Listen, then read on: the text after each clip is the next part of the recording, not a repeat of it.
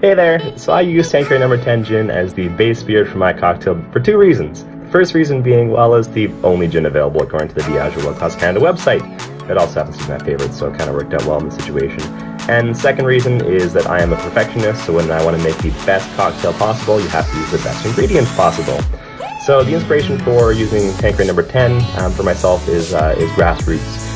Um, when I made the transition from being a hotel bar bartender making rye coke, Bud Light bottles, vodka, vodka subs, all the, the cheap sloppy stuff, I went all out and bought like the Woodford Reserve Ketel One, Gentleman Jack, and Tanqueray Number 10. Um, and what I really appreciate about the Tanqueray Number 10 in particular is how well the, the herbs and botanicals in the gin mix with um, other herbs and botanicals. In this case, I use dill and uh, fresh juices. So without, without further ado, please enjoy and drink responsibly. Cheers.